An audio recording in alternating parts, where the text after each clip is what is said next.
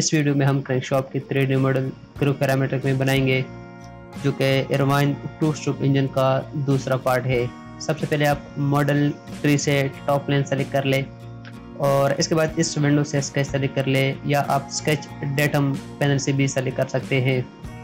इसके बाद head up tool bar से स्केच व्यू सेलेक्ट कर ले। इसके बाद स्केचिंग पैनल से रेक्टेंगल टूल सेलेक्ट करके एक रेक्टेंगल ड्रा कर ले। इस रेक्टेंगल की लेंथ कीबोर्ड से 20 टाइप करके एंटर प्रेस कर ले और इस रेक्टेंगल की विड यानी चौड़ाई कीबोर्ड से 6.5 डिवाइड बाई टू टाइप करके एंटर प्रेस कर ले। अगेन स्केचिंग पैनल से रेक्टेंगल टूल सेलेक्ट करके दूसरा रेक्टेंगल ड्रा कर ले।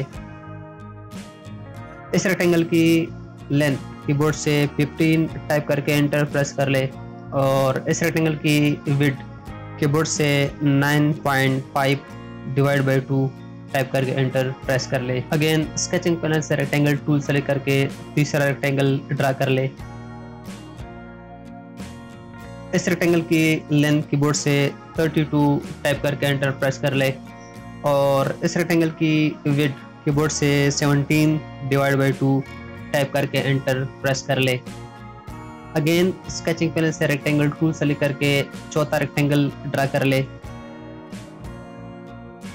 इस रेक्टेंगल की लेंथ कीबोर्ड से 8.75 टाइप करके एंटर प्रेस कर ले और इस रेक्टेंगल की विड यानी चौड़ाई कीबोर्ड से 28.5 डिवाइड बाई टू टाइप करके एंटर प्रेस कर ले।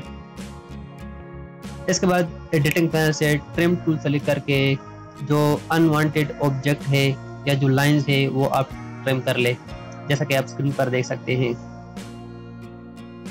और इस लाइनों को भी ट्रिम कर ले। इसके बाद स्केचिंग पैनल से लाइन टूल सेलेक्ट करके जो ओपन एरिया है, यानी जो ओपन स्केच है इसको आप क्लोज कर ले। इस डाउन लिस्ट के ऊपर क्लिक करके आप यहाँ से जो कंस्टेंट डिस्प्ले है, इसको आप अनचेक कर ले। और इस तरह वर्टिकल डिस्प्ले इसको इसको भी आप अनचेक कर ले ताकि हमारे पास ड्राइंग क्लियर हो जाए। इसके बाद इस डायमेंशन के ऊपर डबल क्लिक करके कीबोर्ड से ज़ीरो टाइप करके एंटर प्रेस कर ले।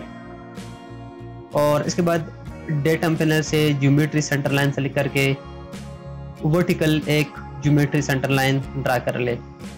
इसके बाद आप यहाँ से ओके सेलेक्ट कर ले। इसके बाद शेप पैनल से रिवॉल्व को सेलेक्ट करके और इसके बाद स्केच को सेलेक्ट कर ले।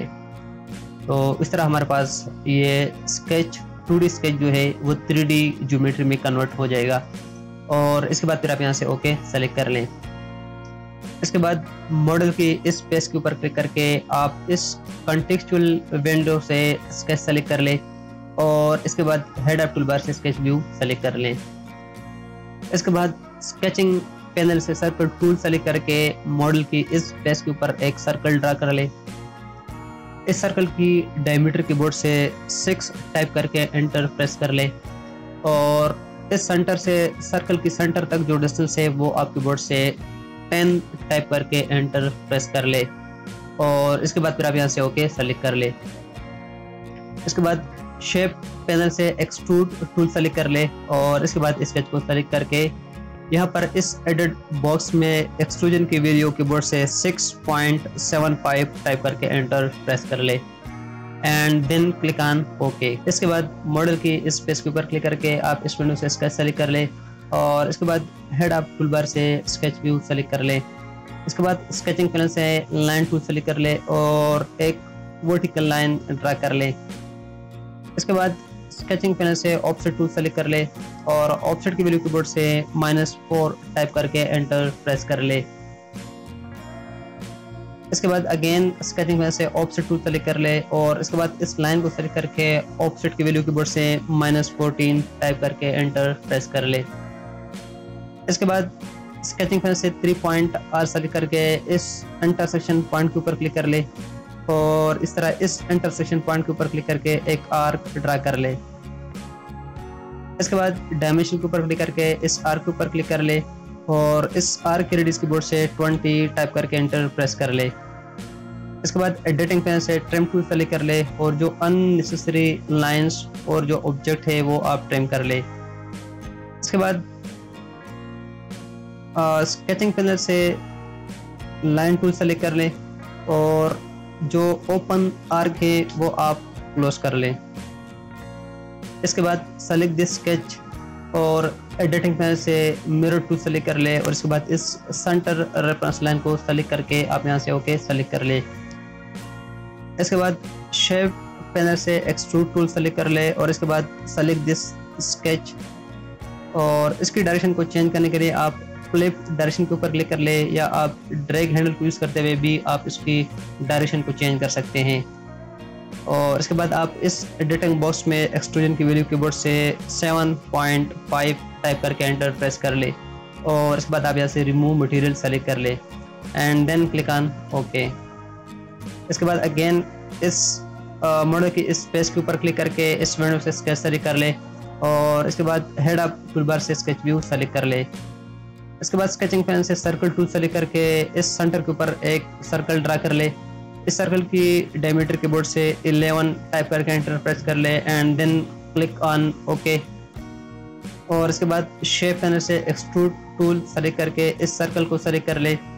आ, इस सर्कल इस एक्सट्रूजन की डायरेक्शन को चेंज करने के लिए आप फ्लिप डायरेक्शन के ऊपर क्लिक कर ले और एक्सट्रूजन की वीडियो कीबोर्ड से 33.5 टाइप करके एंटर प्रेस कर ले। और इसके बाद ओके सेलेक्ट कर लें। इसके बाद आप हेड आप टूल बार से इसके जो प्लेन है, वो आप इसके डिस्प्ले कर दें। और इसके बाद इस प्लेन के ऊपर क्लिक करके इस विंडो से स्केच सेलेक्ट कर लें और हेड आप टूल बार से स्केच व्यू सेलेक्ट कर लें।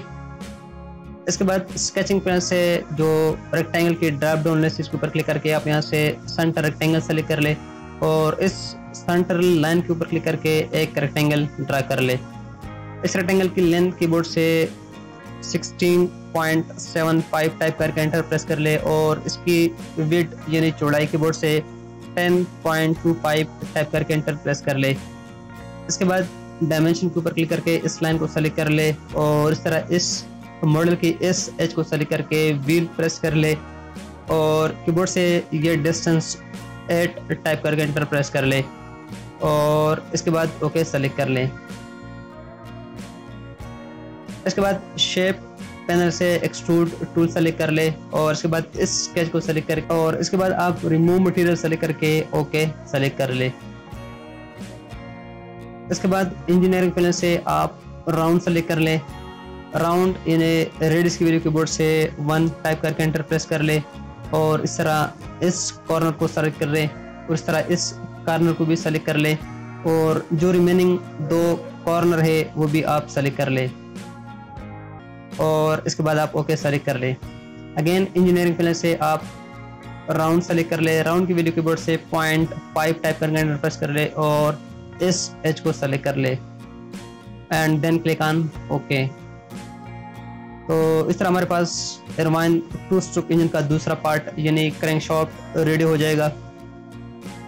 तो चलिए नेक्स्ट वीडियो में हम एरवाइन टू स्ट्रोक इंजन का नेक्स्ट पार्ट के साथ मिलते हैं। अगर अभी तक आपने हमारे चैनल को सब्सक्राइब नहीं किया है तो सब्सक्राइब कर ले, बेल आइकन भी प्रेस कर ले, ताकि जो ही इस सीरीज़ के, यानी इस मैकेनिकल प्रोजेक्ट की नई वीडियो अपलोड हो, ताकि नोटिफिकेशन के ज़रिए आपको इतला मिल सके। अगर वीडियो अच्छी लगी हो तो लाइक भी कर ले। अगर आपको लगता है कि ये वीडियो दूसरे के लिए भी फ़ायदेमंद है और हेल्पफुल है तो दूसरों के साथ शेयर भी कर ले। अगर आपका जो भी डाउट हो, जो भी क्वेश्चन हो तो आप कमेंट सेक्शन को यूज़ करते हुए कमेंट करें। इनशाला हम आपको कम्प्लीटली गाइड और समझाने की कोशिश करेंगे। तो चलिए नेक्स्ट वीडियो के साथ मिलते हैं। तब तक अपना बहुत ख्याल रखेगा तो में रखेगा अल्लाह हाफिज़।